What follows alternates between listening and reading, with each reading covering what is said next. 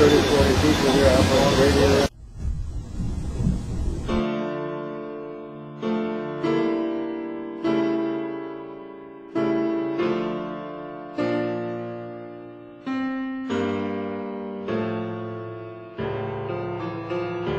preparing for the inevitable.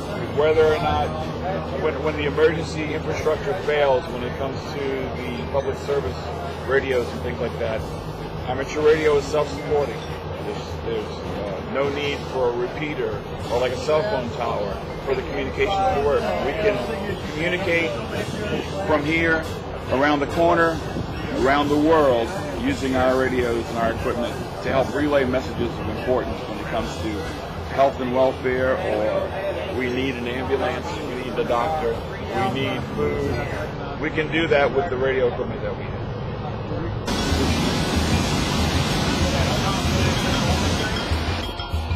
Just, uh, my name is Harris, Hotel Able Roger Roger India Sierra. We feel we're very fortunate to have people who have willingly given of themselves, truly compassionate people who came from everywhere to help us. Says Harris Miller, KB5 BFK, a local ham operator and electronic technician.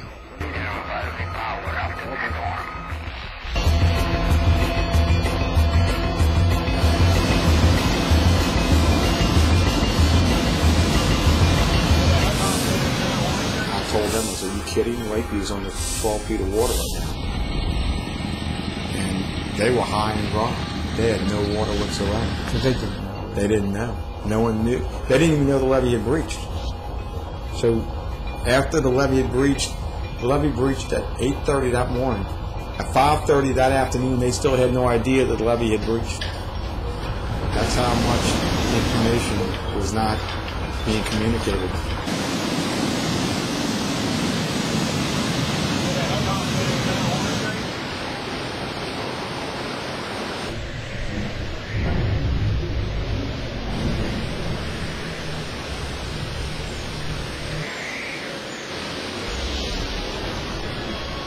It is coming up, baby, and we got the flatbird. Took about about a half hour to inflate it.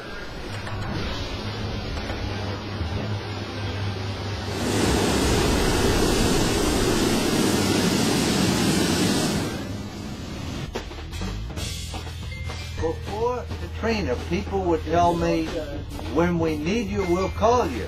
But when you need the hams, you can't call them, because that's why you need them. We didn't even have a cell phone. Exa- oh, no, the cell phones were gone. Cell phones went before Katrina because they were saturated. It's still around in spite of Right here. some of the technical advances. When he threw me, Well, you you just press the button. All else fails, you can read CW when you can't read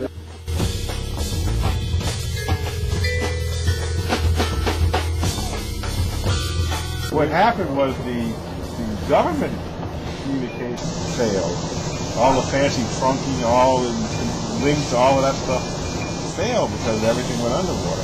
And our UHF repeater, we were still on. The thing is, is that if it blows the antennas and the, and the cables off the towers, no matter what frequency you're using, you've got a problem. When people get in, in a state where they can't talk, society begins to crumble real fast.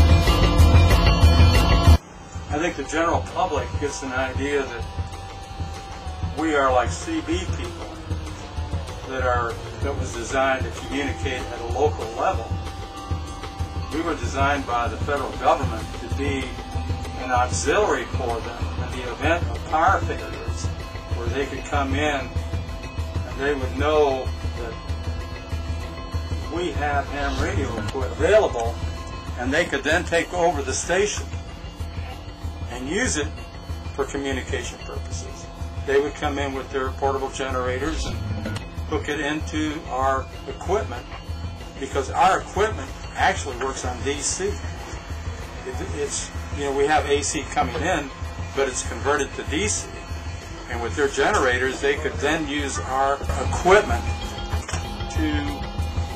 do their job.